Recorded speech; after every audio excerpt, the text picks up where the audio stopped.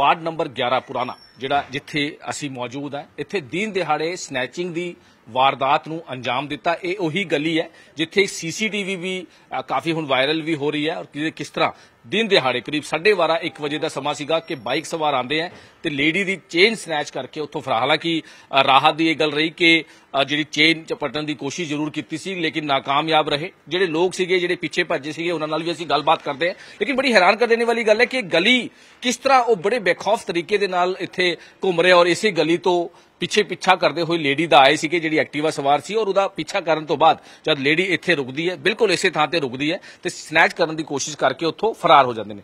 ਸਾਡੇ ਨਾਲ ਲੇਡੀਜ਼ ਨੇ ਜਿਨ੍ਹਾਂ ਦੇ ਪਿੱਛਾ ਕੀਤਾ। मैडम कितने बजे की बात है और हुआ क्या? ये करीबन साढ़े बारह बजे की बात है। मेरी फ्रेंड एक्चुअली बच्चों को ड्रॉप करने आई थी घर। तो हम दोनों बातें कर रहे थे मैं थोड़ा फ़ोन में बिज़ी हो गई तो मेरा ध्यान कहीं और चले गया। सडनली एक बाइक आके रुकी मैंने गौर नहीं किया वो बंदा आगे गया पहले तो हमसे फिर एकदम से पलट के आ गया। उस बंदे ने उनकी मेरी जो फ्रेंड थी उनकी स्नैच चेन स्नैच करने की कोशिश करी और सडन हम तो शॉक्ड हो गए ये हो क्या रहा? उस टाइम तो नहीं। लेकिन फिर हमने देखा कि वो चोरी करने के पर्पज से आया मैंने उसको फॉलो किया।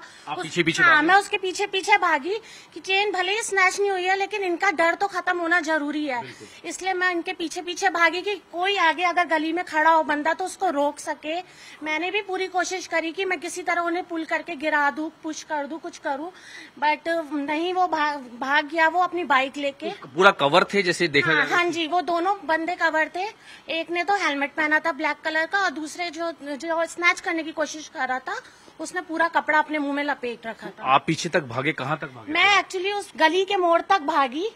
और मैं मुझे लगा कोई ना कोई घर से निकल जाएगा बट कल कोई था नहीं गली में क्योंकि सब दिन दोपहर में तो सारे यही टाइम होगा। हाँ जी सेम टाइम था सारे जैसे कि सारे घर के सारे आदमी इस टाइम पे काम पे जाते हैं तो लेडीज अंदर होती हैं बच्चे कभी बाहर निकल जाते हैं कल को कोई चलो ये तो सोने चांदी का है लेकिन हमारे बच्चे भी गलियों में डर का खेलते माहौल हैं। तो है ही। हाँ जी तो मैं यही मतलब रिक्वेस्ट करूंगी पंजाब पुलिस से कि आप थोड़ी पेट्रोलिंग बढ़ाए और जैसे कि इतनी चोरियां हो रही है खरड़ में लेकिन कोई एक्शन नहीं लिया जाता ਇਹ ਇਹ ਬਹੁਤ ਇਹ ਬਹੁਤ ਇੰਪੋਰਟੈਂਟ ਹੈ ਜਿੱਦਾਂ ਅ, ਮੈਮ ਤੁਸੀਂ ਵੀ ਦੱਸਿਆ ਕਿ ਕਾਫੀ ਪੈਟਰੋਲਿੰਗ ਜਿਹੜੀ ਵਧਾਈ ਜਾਏ ਕਿਉਂਕਿ ਲੋਕਾਂ 'ਚ ਡਰ ਦਾ ਮਾਹੌਲ हाँ जी अब जैसे बाइक है ना आगे नंबर ना पीछे नंबर तो कोई चेक करने वाला है ही नहीं ऐसा ये फर्स्ट टाइम नहीं हो रहा बहुत बार हुआ हमारे ये सामने एक घर और है दो बार इनके घर से सिलेंडर चोरी करके ले गए लेकिन कोई एक्शन नहीं हुआ कभी कुछ नहीं होता है ਠੀਕ ਹੈ ਤੇ ਬਿਲਕੁਲ ਅ, ਕੋਈ ਅ, ਜਿਹੜੇ ਐਕਸ਼ਨ ਨਹੀਂ ਹੁੰਦਾ ਪਹਿਲਾਂ ਵੀ ਇਸ ਤਰ੍ਹਾਂ ਦੀ ਵਾਰਦਾਤਾਂ ਹੋਈਆਂ ਸਰ ਜਿੱਦਾਂ ਮੈਮ ਨੇ ਵੀ ਦੱਸਿਆ ਕਿ ਇਸ ਤੋਂ ਪਹਿਲਾਂ ਵੀ ਸਨੈਚਿੰਗ ਜਿਹੜੀ ਹੈਗੀ ਹੈ ਜਾਂ ਫਿਰ ਜਿਹੜੀ ਲੁੱਟਖੋ ਦੀ ਜਿਹੜੀ ਹੈਗੀ ਕੋਸ਼ਿਸ਼ ਸਰ ਇਸ ਤੋਂ ਪਹਿਲਾਂ ਵੀ ਦੋ ਤਿੰਨ ਵਾਰੀ ਕੋਸ਼ਿਸ਼ ਹੋ ਚੁੱਕੀ ਹੈ।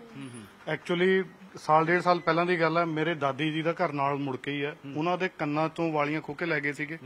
ਫਿਰ 6 ਮਹੀਨੇ ਬਾਅਦ ਮੇਰੇ ਤਾਈ ਜੀ ਦੇ ਕੰਨਾਂ ਤੋਂ ਵਾਲੀਆਂ ਖੋਹ ਕੇ ਲੈ ਗਏ। ਇਸ ਚੀਜ਼ ਦੀ ਰਿਪੋਰਟ ਵੀ ਕਰਨ ਜਾਓ ਬਟ ਪੁਲਿਸ ਦੀ ਤਾਦਾਦ ਹੀ ਘੱਟ ਹੈ। ਐਜ਼ ਪਰ ਪੋਪੂਲੇਸ਼ਨ ਪੁਲਿਸ ਦਾ ਗਿਣਤੀ ਬਹੁਤ ਘੱਟ ਪੋਪੂਲੇਸ਼ਨ ਵੱਧਦੀ ਜਾ ਰਹੀ ਖਰੜ ਦੀ। ਖਰੜ ਸ਼ਹਿਰ ਕਿੱਥੇ 1.5 ਲੱਖ ਦੀ ਆਬਾਦੀ ਕਿੱਥੇ 6 ਲੱਖ ਤੋਂ ਵੱਧ ਕ੍ਰਾਸ ਹੋ ਜਾਣਾ। ਇਸ ਕਰਕੇ ਸ਼ਾਇਦ ਪੁਲਿਸ ਵੀ ਥੋੜੀ ਮਜਬੂਰ ਹੈ ਬਟ ਫੇਰ ਵੀ ਪੁਲਿਸ ਪ੍ਰਸ਼ਾਸਨ ਨੂੰ ਇਹਨਾਂ ਚੀਜ਼ਾਂ ਨੂੰ ਮੱਦੇਨਜ਼ਰ ਰੱਖਦੇ ਹੋਏ ਲੋਕਾਂ ਦੀ ਸੁਰ- ਸੁਰੱਖਿਆ ਲਈ ਆਪਣੀ ਪੈਟਰੋਲਿੰਗ ਵਧਾਉਣੀ ਚਾਹੀਦੀ ਹੈ ਤੇ ਜਿੰਨਾ ਹੋ ਸਕੇ ਲੋਕਾਂ ਦੀ ਹੈਲਪ ਕਰਨੀ ਚਾਹੀਦੀ ਹੈ। ਤੇ ਬਿਲਕੁਲ ਜਿੱਦਾਂ ਸਰ ਨੇ ਵੀ ਕਿਹਾ ਕਿ ਪੈਟਰੋਲਿੰਗ ਜਿਹੜੀ ਆ ਉਹ ਵਧਾਉਣੀ ਚਾਹੀਦੀ ਇਹ ਸੀਸੀਟੀਵੀ ਕੈਮਰਾ ਜਿੱਥੇ ਸਾਰਾ ਇਹ ਵਾਰਦਾਤ ਕੈਪਚਰ ਹੋਈ ਹੈ। ਲੇਕਿਨ ਰਾਹਤ ਦੀ ਗੱਲ ਜ਼ਰੂਰ ਹੈ ਕਿ ਜਿਹੜੀ ਚੇਨ ਹੈ ਉਹ ਤਾਂ ਬਚ ਗਈ। ਲੇਕਿਨ ਇਰਾਦਾ ਉਹੀ ਸੀ ਕਾਫੀ ਦੇਰ ਤੋਂ ਉਹਨਾਂ ਨੂੰ ਫੋਲੋ ਕਰ ਰਹੇ ਸੀਗੇ, ਜਿਹੜੀ ਲੇਡੀ ਇੱਥੇ ਪਹੁੰਚੀ ਹਾਲਾਂਕਿ ਪਹੁੰਚ ਕੇ ਜਦ ਇਹਨਾਂ ਦੇ ਘਰ ਰੁਕੀ ਹੈ ਔਰ ਅਚਾਨਕ ਉਹਨੇ ਜਿਹੜਾ ਹੈਗਾ ਝਪਟਮਾਰ ਕੀਤੀ ਤੇ ਇੱਥੋਂ ਫਰਾਰ ਹੋ ਗਿਆ। ਲੇਕਿਨ ਪੂਰਾ ਬੜੀ ਹੈਰਾਨ ਕਰ ਦੇਣੇ ਵਾਲੀ ਗੱਲ ਹੈ ਕਿ ਇਹ ਗਲੀ ਹੈ, ਕਾਫੀ ਅੱਗੇ ਜਾ ਕੇ ਕੰਜਸਟਡ ਵੀ ਹੈ, ਲੇਕਿਨ ਉਹਨਾਂ ਦੇ ਹੌਸਲੇ ਇੰਨੇ ਬੁਲੰਦ ਹੈ ਕਿ ਕਿਸੇ ਵੀ ਤਰ੍ਹਾਂ ਦਾ ਕੋਈ ਖੌਫ ਨਹੀਂ। ਬੜੇ ਬੇਖੌਫ ਤਰੀਕੇ ਦੇ ਨਾਲ ਉਹਨਾਂ ਨੇ ਸਨੈਚਿੰਗ ਦੀ ਵਾਰਦਾਤ ਨੂੰ ਅੰਜਾਮ ਦੇ ਕੇ ਉੱਥੋਂ ਫਰਾਰ ਹੋ ਗਏ। ਹਾਲਾਂਕਿ ਹਜੇ ਤੱਕ ਕੌਣ ਨੇ ਇੱਕ ਜਿਹੜੇ ਕਿੱਥੋਂ ਆਏ ਸੀਗੇ ਬਾਈਕ ਦਾ ਨੰਬਰ ਨਹੀਂ ਸੀਗਾ। ਇਹ ਇਸ ਤੋਂ ਪਹਿਲਾਂ ਵੀ ਇਸ ਤਰ੍ਹਾਂ ਦੀ ਚੀਜ਼ਾਂ, ਇਸ ਤਰ੍ਹਾਂ ਦੀ ਵਾਰਦਾਤ ਸਾਹਮਣੇ ਆਈ ਹੈ, ਜਿਸ ਲੈ ਕੇ ਲੇਕਿਨ ਹਾਲਾਂਕਿ ਪੁਲਿਸ ਤੇ ਕਈ ਨਾ, ਕਿਤੇ ਨਾ ਕਿਤੇ ਸਵਾਲੀਆ ਨਿਸ਼ਾਨ ਜ਼ਰੂਰ ਖੜਾ ਹੁੰਦਾ ਹੈ ਕਿ ਆਖਿਰ ਇੰਨੀ ਵੱਡੀ ਵਾਰਦਾਤਾਂ, ਕਿਸੇ ਵੀ ਤਰ੍ਹਾਂ ਦਾ ਕੋਈ ਖੌਫ ਨਹੀਂ, ਵਾਰਦਾਤਾਂ ਨੂੰ ਅੰਜਾਮ ਦੇ ਕੇ ਇੱਥੋਂ ਫਰਾਰ ਹੋ ਜਾਂਦੇ ਨੇ। ਇਹ ਬਹੁਤ ਇੰਪੋਰਟੈਂਟ ਹੈ ਤੇ ਲੋਕਾਂ 'ਚ ਸਹਿਮ ਦਾ ਮਾਹੌਲ ਜ਼ਰੂਰ ਹੈ।